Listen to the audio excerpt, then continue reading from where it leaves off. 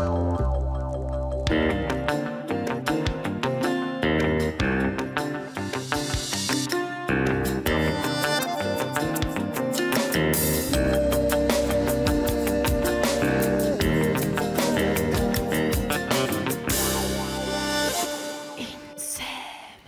Bonjour à tous et bienvenue sur le plateau d'INSEM. Alors une émission un petit peu particulière aujourd'hui, ça fait une semaine qu'on vous l'annonce, on vous l'a promis.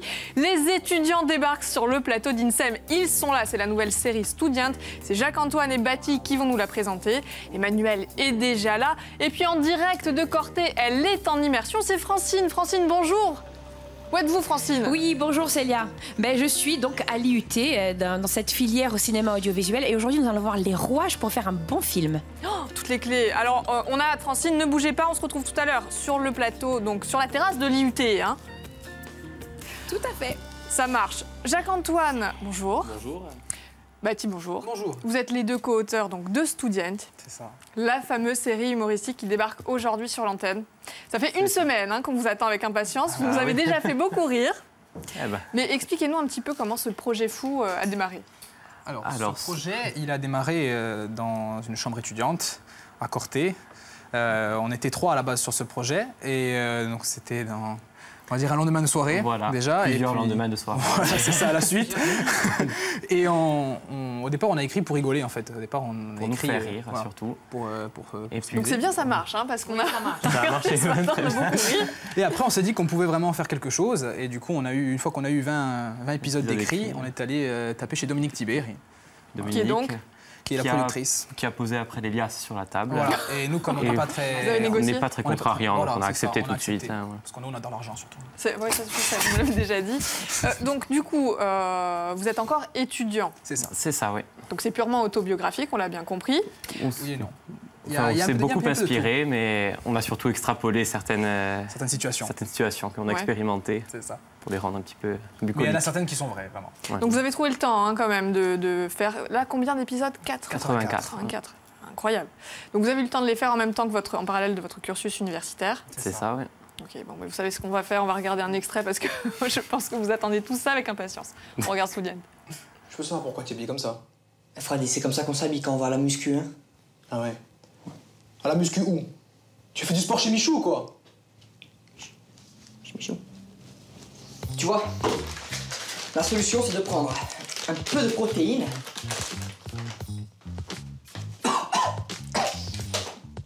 Avec de la boisson énergisante, tu vois.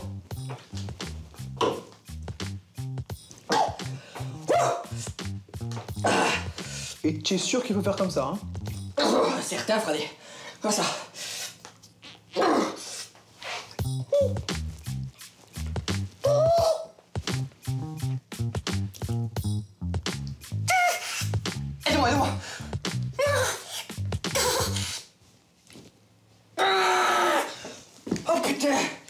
C'est bon pour aujourd'hui. Là, ça, je sens la congestion et tout.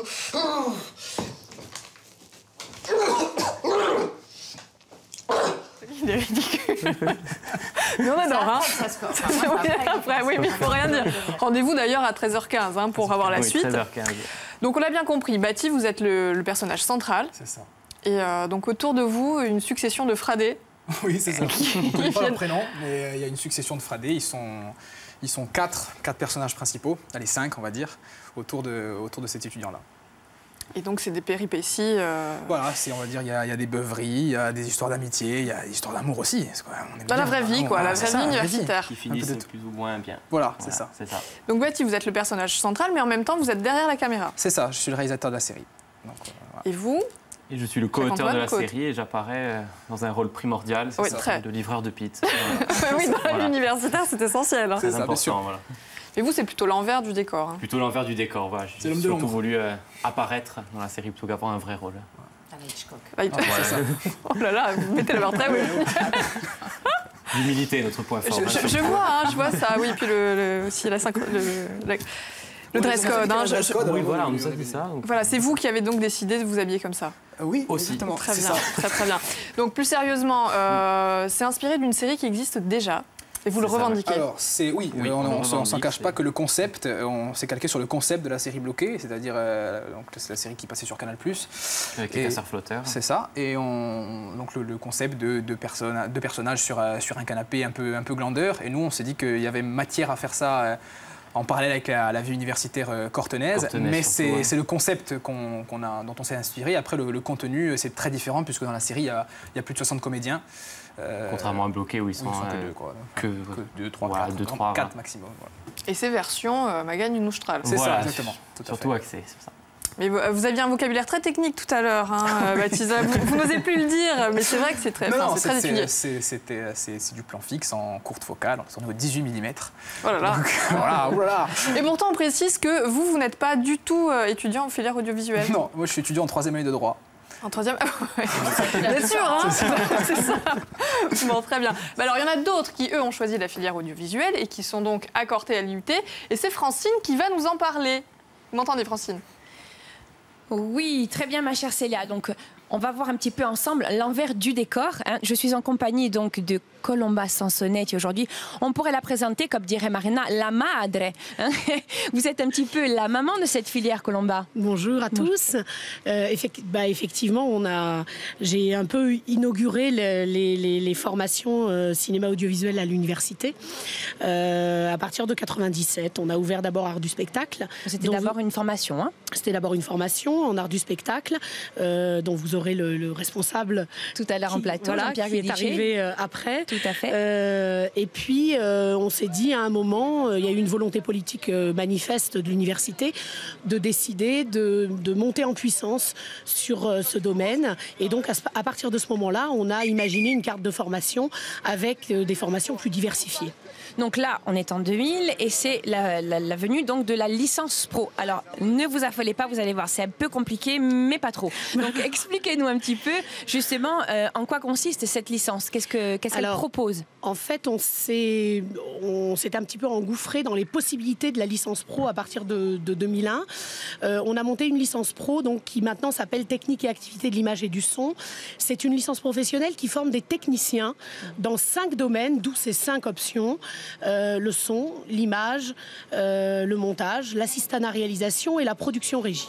Donc là, on apprend vraiment tout c'est la partie technique. La partie on est bien d'accord donc avec cette licence. Absolument. Donc euh, euh, c'est un petit co- comment on intègre cette, cette, euh, cette formation? Parce que c'est pas si simple que ça, je crois. Alors évidemment, les licences pro sont des formations en numerus clausus. Ça signifie qu'il y a une sélection. Et une sélection relativement importante avec pour nous un taux de pression qui est assez fort puisque on a environ 200 euh, dossiers pour entre 20 et 23 places, on va dire. Voilà. Beaucoup de prétendants. Peu d'élus. Effectivement, beaucoup de prétendants, peu d'élus, mais euh, euh, tentez quand même votre chance. n'est-ce pas? Donc il faut absolument euh, présenter là un, un vrai projet euh, bien étudié pour vous convaincre, Colomba. Absolument. Je, je suis beaucoup moins attachée aux résultats euh, scolaires ou universitaires que euh, à la motivation et à l'objectif de, de- de- de professionnel du candidat. Donc il y a cinq options dans cette licence. Absolument. Les- Cinq. cinq- euh, donc on- tout ce qui est en termes de, de- on a dit technique. De donc technique. maintenant, on peut aussi proposer euh, des résidences, des formations en continu, mais ça, on passe à la partie DU, c'est-à-dire diplôme universitaire. Alors, en quoi consiste-t-il? Alors en 2008, on a décidé d'ouvrir un, seconde- un second champ de formation avec un DU. Les DU sont des diplômes d'université, c'est-à-dire que les universités ont la main sur la création spécifique de leur diplôme. C'est le cas du DU qui s'appelle Création audiovisuelle et cinématographique de Corse. Donc là, bien évidemment, cette, cette formation-là, ce diplôme est encadré par des, par des professionnels. Vous avez des intervenants. euh, Absolument. Alors là, déjà en licence, on a 80% de professionnels.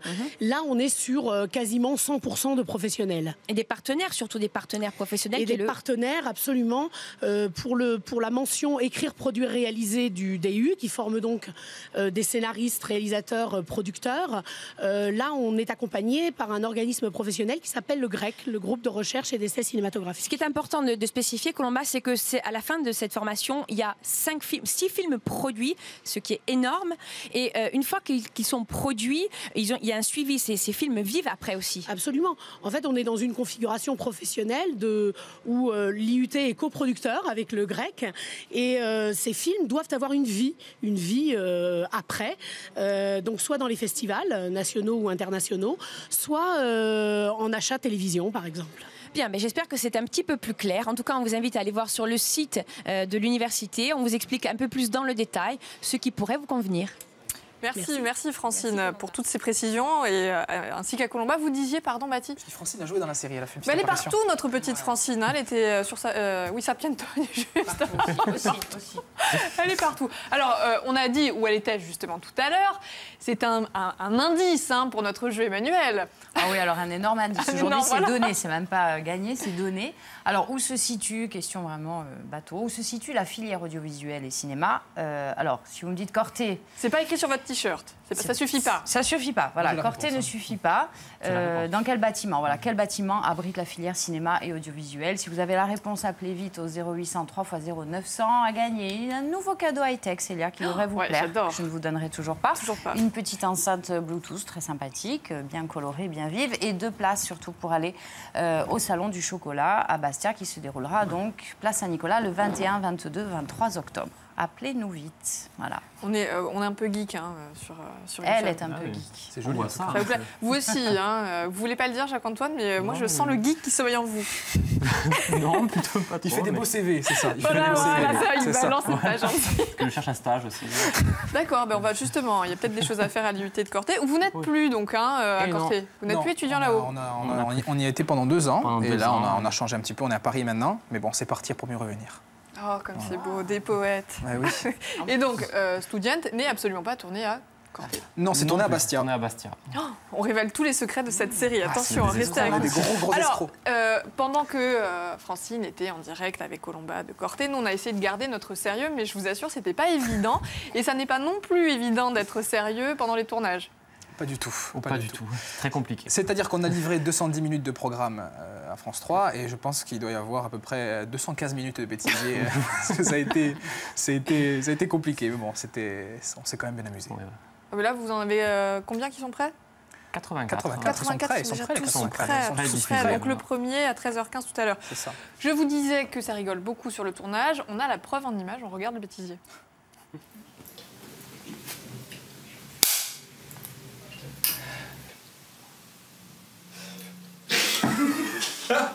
C'est normal, faut pas, faut pas.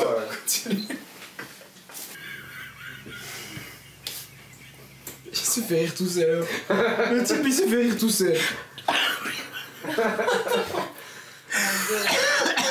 Allez. Je me touffe.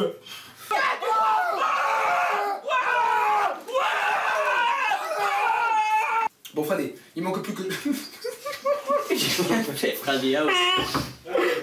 Bon, Freddy, il manque plus que Jean-Noël Alexia. on ne sait pas ce qui vous fait rire. Enfin, tant que tu arrives à respirer, moi je vois pas d'inconvénient. Non, non. C'est hein, c'est bien. Moi, moi, ça me va.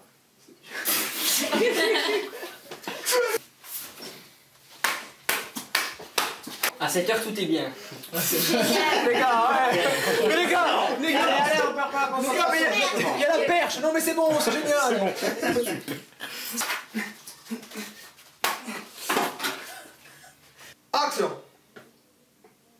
типа, 8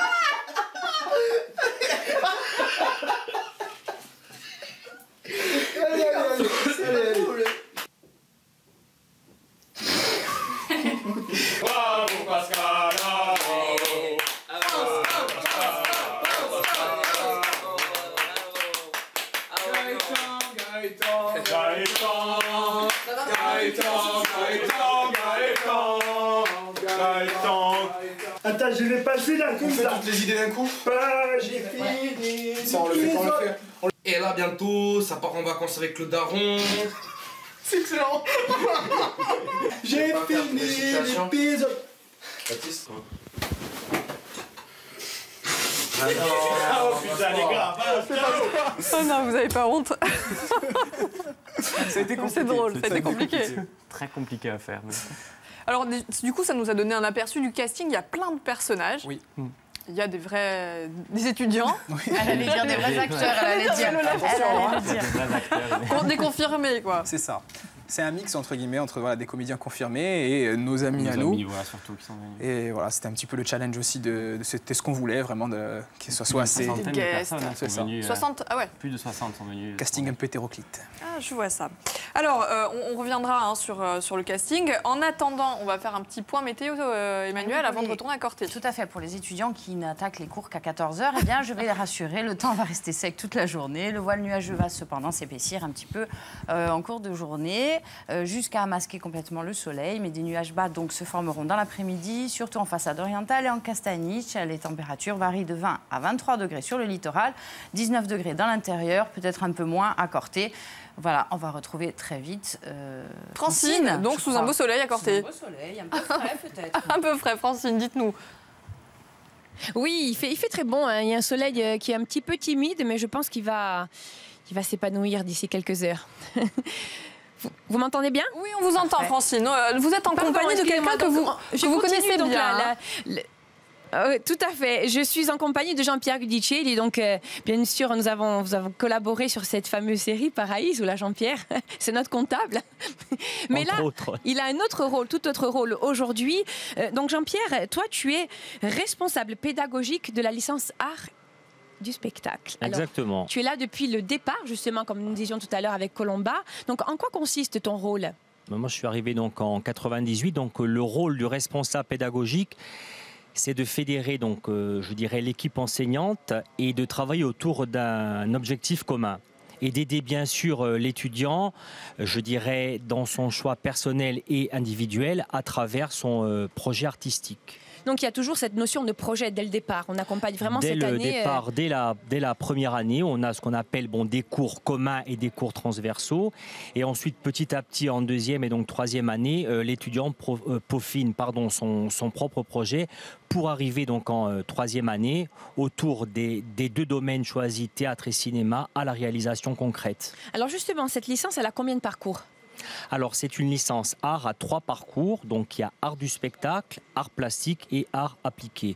Simplement, une, je dirais, une petite nuance. Les arts du spectacle sont en train de travailler. Nous sommes tous en train de travailler sur une nouvelle carte de formation qui, qui va prendre naissance en 2018, si ma mémoire est bonne. Et nous allons, euh, je dirais, nous orienter vers les arts de la scène.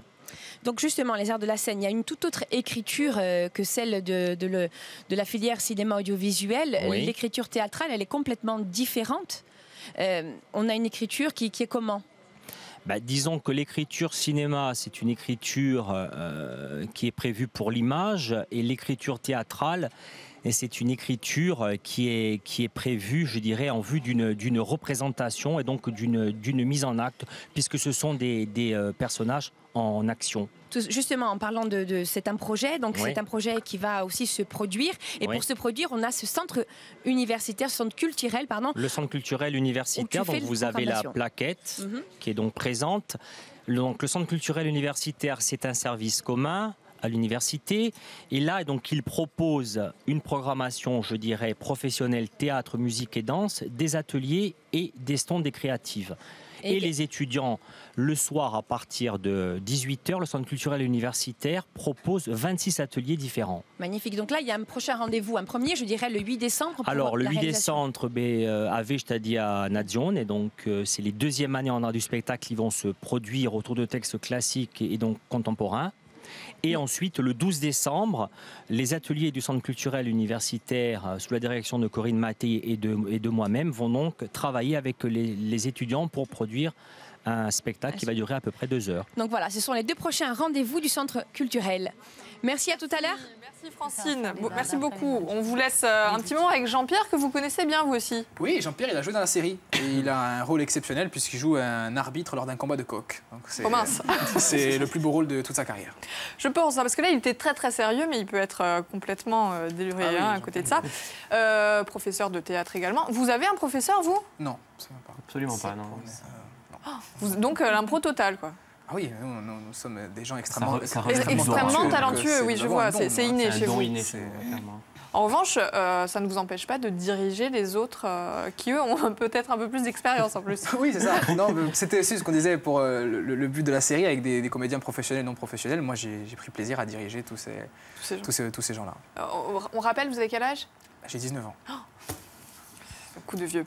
Très bien. euh, bah, vous savez quoi On va essayer d'en savoir encore davantage sur vous avec le questionnaire d'Emmanuel. Alors, j'ai pas pu Courage. choisir entre vous deux, donc on- si vous êtes d'accord, on va faire. euh, on commence par toi D'accord, pas Hein de souci. Alors, si vous étiez un film culte. Euh, la Cité de la Peur. Ouais, bon, alors ça. Et vous avez vraiment 19 ans Clairement. hein. Baptiste, si vous étiez un mot.